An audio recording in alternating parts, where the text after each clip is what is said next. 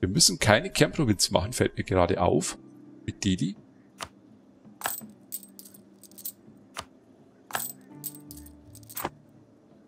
Verbesserung der Handelstechnologie. Geld spielt keine Rolle oder wir holen uns nur mal die 10 Punkte.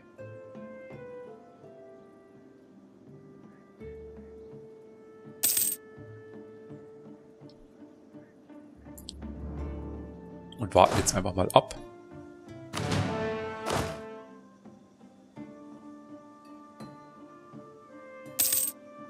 So, wir haben jetzt hier 43, das sind ein bisschen zu viel. Hier oben hätten wir 41, 42 hier drüben. Dann werden wir hier mal einmal weg. Nochmal einmal weg.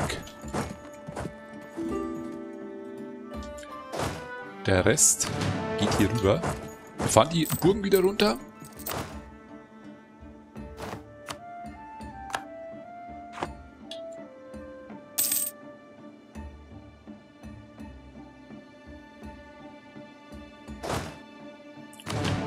Überlassen sie wieder ihrem Drill.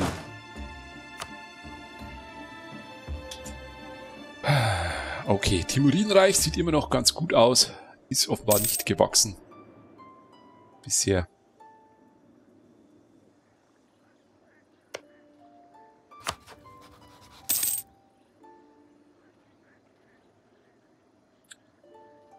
Und hier müssen wir noch ein paar Jahre warten, bis wir hier annektieren können. 1596, sieben Jahren. Aber erstmal müsste das hier weitergehen. Ist diplomatische Reputation, ist die jetzt im Keller? Minus 1,93, das geht noch. Das geht. Eigentlich müsste sich jetzt hier was verändern. 16.773 Tage ist er schon am Annektieren. Der arbeitet sich die Finger wund. Ja, 0,1% geht's jetzt nur noch vorwärts.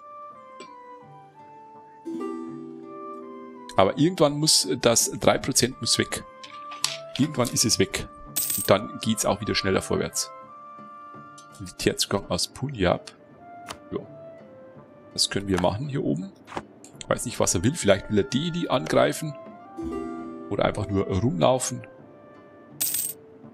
Kalahandi.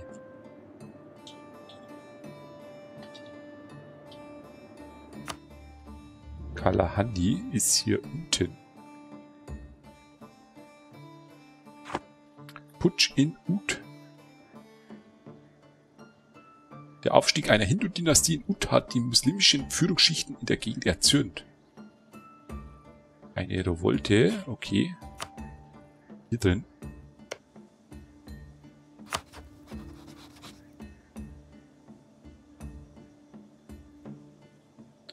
Kunst ist es, das Annektieren so zu timen, dass mehrere im gleichen Monat fertig werden. Das stelle ich mir aber schwierig vor. Vor allem, äh, wenn die ja unterschiedlich groß sind. Das ist äh, bisschen schwierig. Ich glaube, das geht gar nicht. Das kann niemand.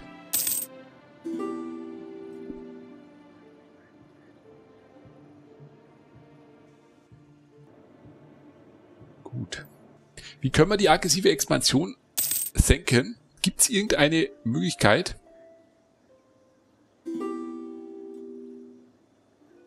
Wie man das relativ schnell senken kann. Okay, äh, Delhi ist schon wieder unter Zugzwang jetzt hier. Gegen Orissa und Mogauk und Kale. Da wird Delhi jetzt offenbar zerrissen.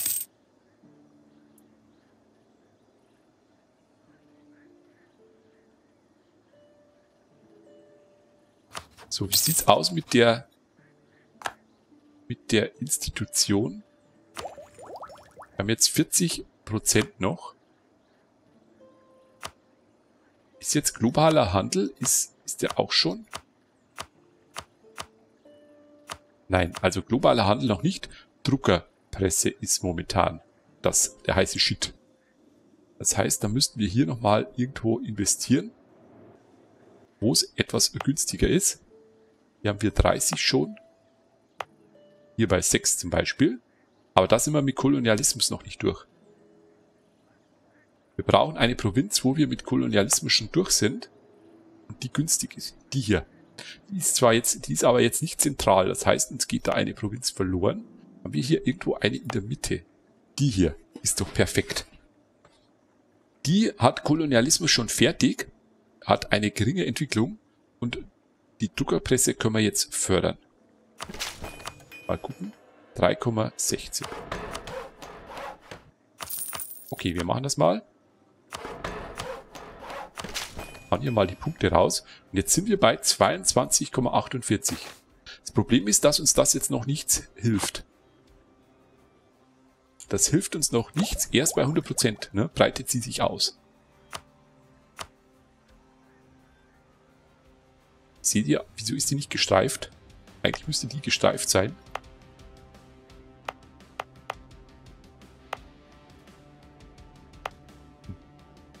Die Provinzfrage. Wir beanspruchen eine, eine der Provinzen unseres Untertanen. Äh, Panipat. Panipat. Panipat ist hier oben. Nehmt die Provinz, Abfall von Panipat nach Mewa. Garwals Meinung ändert sich um minus 70. Verzichtet auf den Anspruch. Ja, das können wir machen. Wird ja eh demnächst integriert. In 100 Jahren oder so. Passt.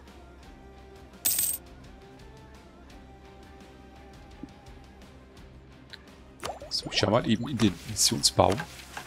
Hier oben. Das ist das hier unten, das wir noch machen müssen. Und das hier, dafür brauchen wir die Provinz nochmal. Das wären quasi die, von die wir befreit haben. Und eine Provinz hier von Delhi nochmal. So, 8000 sind hier gespawnt. Mal gucken, ob er sich jetzt darum kümmert. Wie er rüberläuft. Oder ob er gar nichts macht. Normalerweise müsste, mit, müsste er mit seinen 6000 das Ganze schaffen. Wahrscheinlich müssen wir ihm zu Hilfe kommen. Jetzt sind es nur noch 7,5. Patnanische Bauern.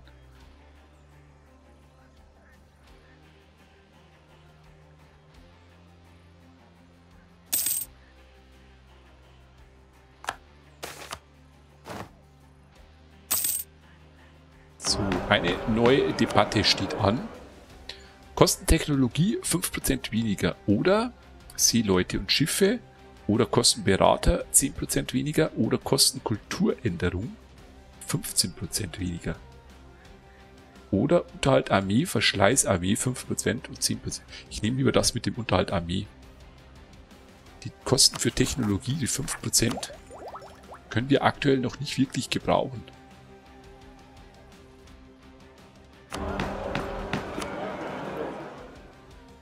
Nehmen das mit dem Unterhalt, damit wir wieder etwas Geld bekommen. Oh, wobei, wir haben eh schon wieder 1400. 5 Prestige verlieren. Korruption. Prestige verlieren.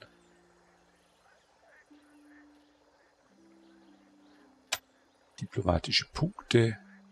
Drei brauchen wir noch. Legitimität verlieren will ich nicht.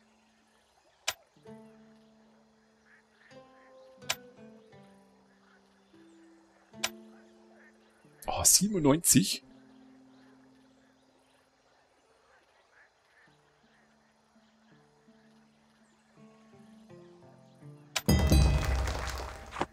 Okay. Also, er macht gar nichts. Er holt sich einfach wieder nur die Provinz zurück.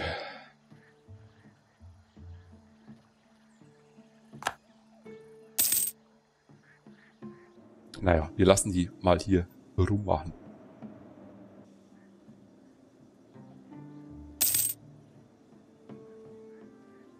Jeder spioniert bei uns. Oh, unser General ist tot. Ming spioniert, Timuride spioniert. Ganz schrecklich. Wir brauchen einen neuen Anführer. Oh, der ist schon besser jetzt. Der ist schon besser, hat zwei Belagerungen. Endlich. Endlich.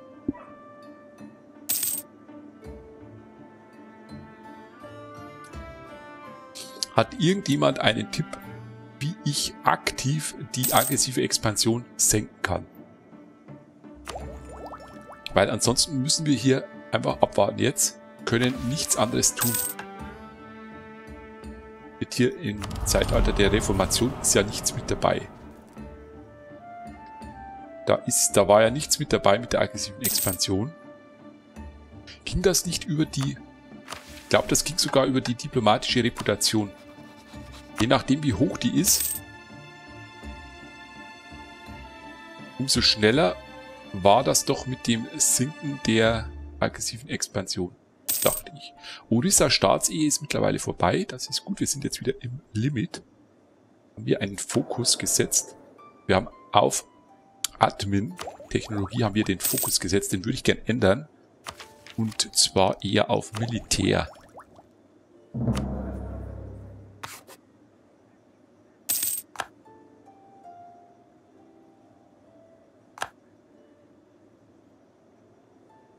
Okay, Nepal hat das hier eingenommen. Ah, das heißt, wir müssen Nepal dann, ja, müssen wir militärisch besiegen. Wir werden das Bündnis auflösen. Aber erst, sonst haben wir nämlich wieder mit minus eins. erst wenn wir das hier haben. Hat sich das jetzt wieder verkleinert? Geht das rückwärts jetzt? 49,5. Ich dachte, wir wären schon über 50 gewesen. Komischerweise hat sich hier noch nichts geändert. Aber wir müssen Nepal militärisch dann übernehmen.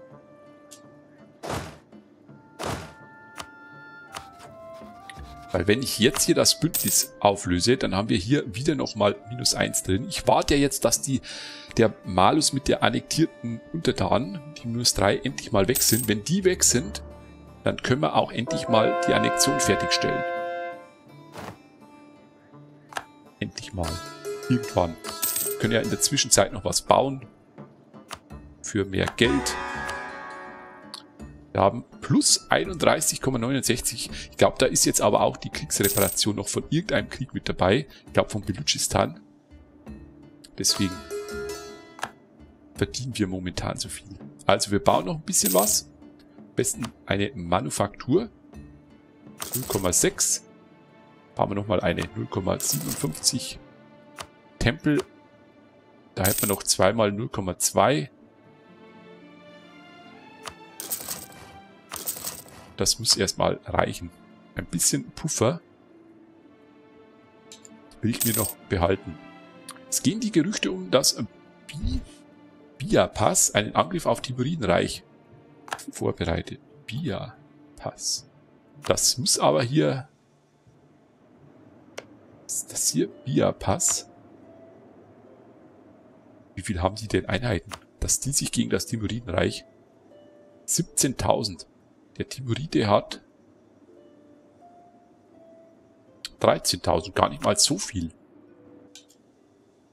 Theoretisch könnten wir jetzt gegen... Ach, der führt momentan noch Krieg. Theoretisch schon wieder gegen Ming. Also Ming will's echt wissen jetzt. Die Oiraten sind auch sehr groß. Die Blutstadt von Ming ist das. Ming will sich offenbar ziemlich viel einverleiben, habe ich das Gefühl.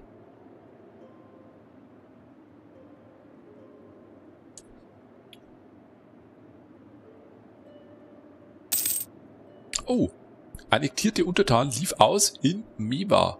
Das heißt, jetzt muss hier aber was losgehen. Jetzt haben wir hier plus 1,21 wir schauen mal, wie das jetzt steigt. 50,9.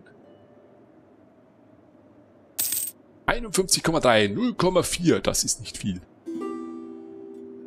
Aber besser als nichts. Paar Monate dauert's noch. Ach, schön. Na schön.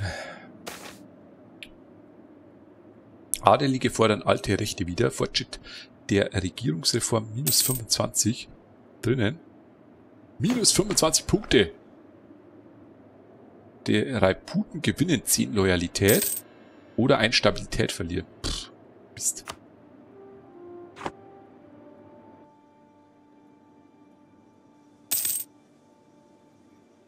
Das ist echt blöd jetzt, dass der das übernommen hat. Wir hätten ihm Unabhängigkeit, nee, nicht Unabhängigkeit gewähren sollen. Wir hätten, ah, shit, wir hätten irgendwie, keine Ahnung, eine Warnung aussprechen müssen. Sowas hätten wir machen müssen. Ich glaube, das war's. Ich schaue nochmal rein, damit er die angrenzenden Provinzen in Ruhe lassen soll. Wir schauen mal. Warnung. Kann ich das überhaupt machen, wenn ich mit ihm ein Bündnis habe?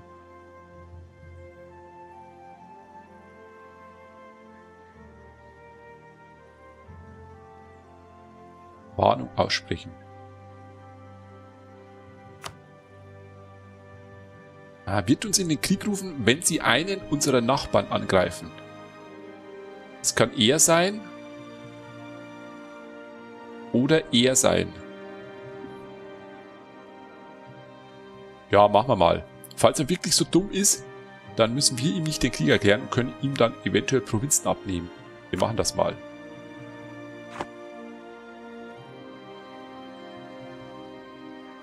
Deine Ländereien werden zu gegebener Zeit auch zu Ming gehören. Ich habe vollstes Vertrauen in dich. also ich habe es vorhin ja schon gesagt, weil ich hätte jetzt gar nichts dagegen, wenn äh, Ming jetzt uns quasi dann in Tribut nimmt weil wir ja trotzdem dann hier noch weiter Krieg führen können. Und wir haben dann, wir sind dann quasi, ja, stehen unter den Fittichen von Ming. Hätte ich kein Problem. Schon wieder Verrat gegen war schon wieder, das gibt's doch nicht.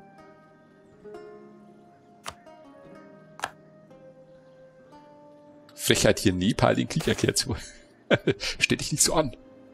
Stell dich nicht so an. Nepal wird über kurz oder lang fallen. Da kannst du dich auf den Kopf stellen oder, keine Ahnung, deinen Nickname ändern, wie du willst. Irgendwann müssen diese Provinzen hier uns gehören. Wie lang geht eigentlich äh, das Spiel? Bis 1800 irgendwas, oder? Das heißt, wir haben noch 200 Jahre. Was nicht mehr ganz so viel ist.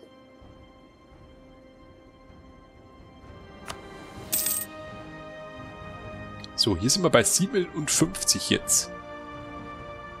Wir haben einen Waffenstillstand bis... Oh, nur noch zwei Jahre. Okay, dann haben wir wahrscheinlich ein Problem.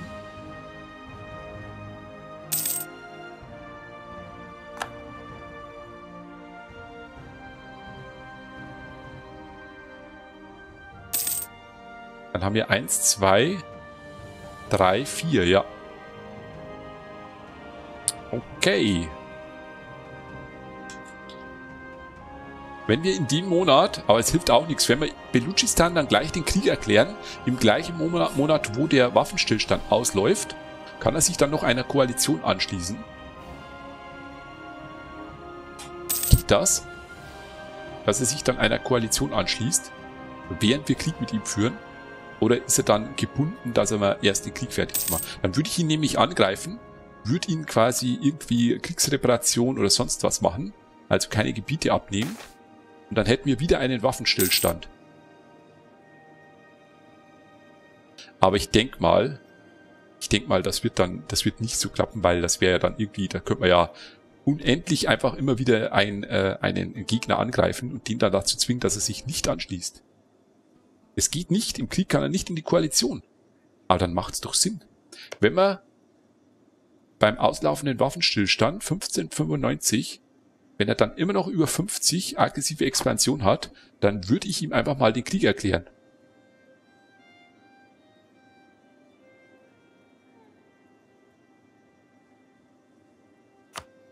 Schau mal eben, ob wir einen Kriegsgrund haben. Ah, wir müssen vorher schon mal einen fertigen. Es kommt mit... Oh, Chagatai und Punjab. Chagatai ist doch ziemlich groß. War Chagatai nicht hier oben? Chagatai? Nö. Chaga. Doch, hier oben irgendwo. Was ist das? What? Chagatai hier. Die sind aber ganz schön geschrumpft jetzt. Die waren hier schon mal größer. Auf diese Weise kannst du Koalis auch verhindern, wenn du direkt beim Auslaufen sofort angreifst. Das habe ich eben gemeint, ja? Ah, gängige EU4-Praxis, wenn man World Conquest spielt. Also hallo, dann habe ich ja hier mal eine eigene Technik quasi erfunden, die es zwar schon gibt, aber auf die ich selber gekommen bin. Schön. Wir müssen jetzt nur erstmal hier einen Anspruch fingieren.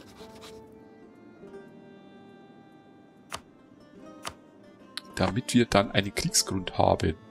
Außerdem, Belutschistan hat ja nicht viele Einheiten gehabt. Reicht's, wenn wir eventuell nur mit einer Mannschaft rüberlaufen. Belutschistan 10.000, ja. Mal schauen, vielleicht ist er ja trotzdem unter 50.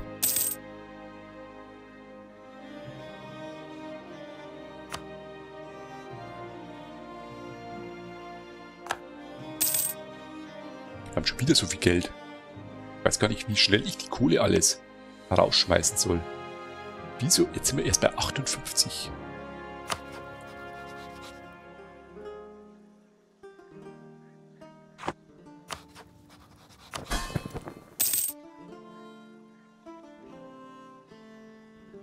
So, Partner ist das hier, ne? Und hier unten haben wir auch noch was, den können wir aber auch nicht annektieren, richtig?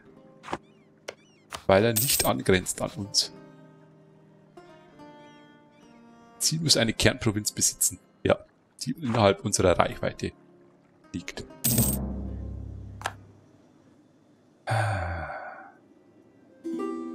Crusader Kings kannst du ja wenigstens die Verteidigungspakte ausschalten. Auch im Iron Man Modus. Es wäre schön, wenn man das hier mit der aggressiven Expansion auch machen könnte. 11.000.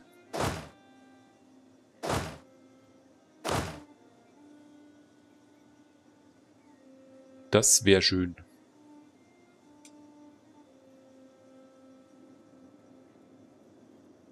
Oh, wir können Versorgungsdepot bauen. Gibt Versorgungslimit 50% mehr. Habe ich auch noch nie gebaut. 50% mehr.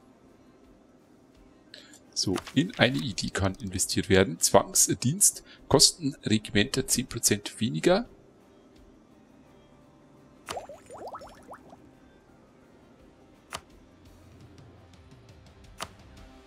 Wo haben wir denn vorhin investiert? Ich glaube, war das das hier?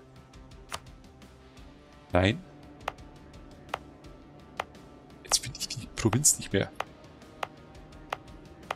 Da ist sie. Mandsau, oder war das mit der Druckerpresse? 22 Prozent.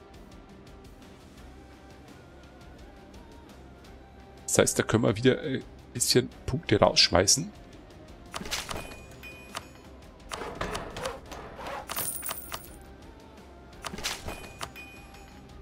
Aber jetzt sind wir auch bei 30. Das heißt, wir müssen ja doch wieder so viel dann investieren,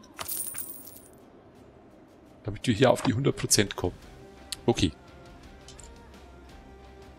Ich glaube, so ein bisschen habe ich es jetzt verstanden. Bin mir aber noch nicht so ganz sicher.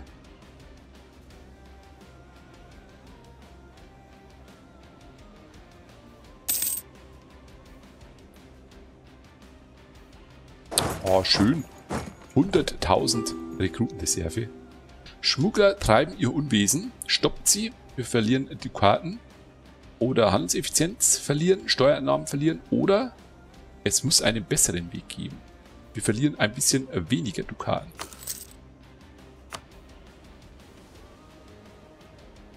Ist er geflüchtet. Unten sind tierutische Nationalisten von Borissa.